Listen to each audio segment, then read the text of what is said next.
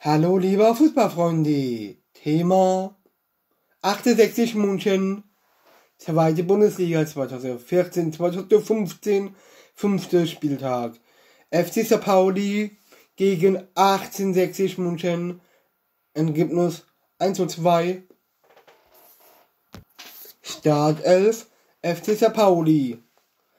Drechner, T.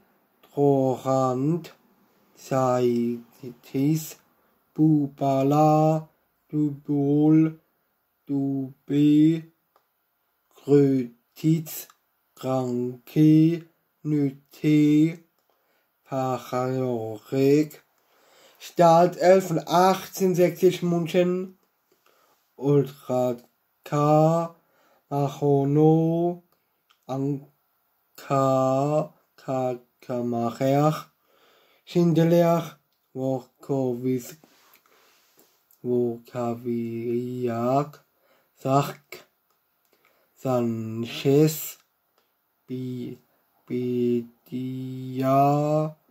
Leonardo, Rama, Okati. Das war's von FC St. Pauli gegen 1860 München.